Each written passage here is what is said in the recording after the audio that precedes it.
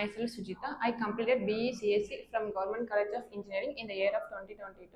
After that, I joined QSpider in the month of March 2024. There, I learned Java, SQL, WebTech. Finally, I got placed as a software engineer in reputed company. Thank you for QSpider Vadapalani.